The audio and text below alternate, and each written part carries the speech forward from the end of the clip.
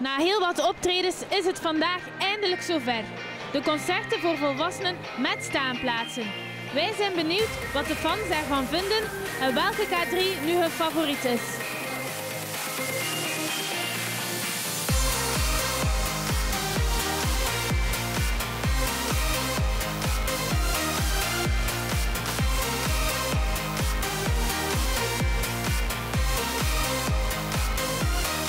Marten of Christel?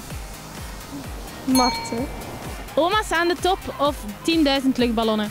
Um, nou, toch oma's aan de top. Josje of Klaasje?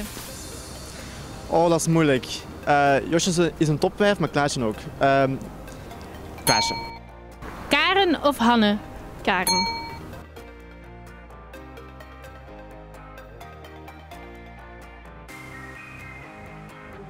Hallo K3 of de avonturen van K3?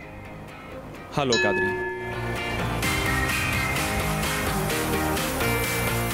Ik ben daarnet een klein quizje gedaan met de volwassen fans. En jullie zijn nog steeds een favoriet. Hebben jullie een kleine reactie? Dat is natuurlijk niet eerlijk dat je dat nu vraagt. Want nu komen degenen die vanavond komen, die komen echt wel vooral voor ons. Omdat ze hun, eh, hun, hun jeugd willen afsluiten. Wat is wel leuk om te horen hoor.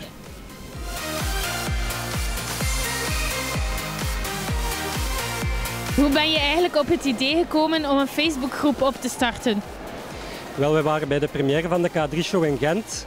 Uh, en het viel daar echt heel hard op dat er heel veel jeugd aanwezig was. En dat die ook zin hadden om eens een, een echt feestje te bouwen op de K3-nummers. Uh, hoe hebben jullie deze avond ervaren? Ja, echt fantastisch. Het was zo geweldig. Al die mensen die uit ons dak gingen. Ja, dat was echt fantastisch om mee te maken dit.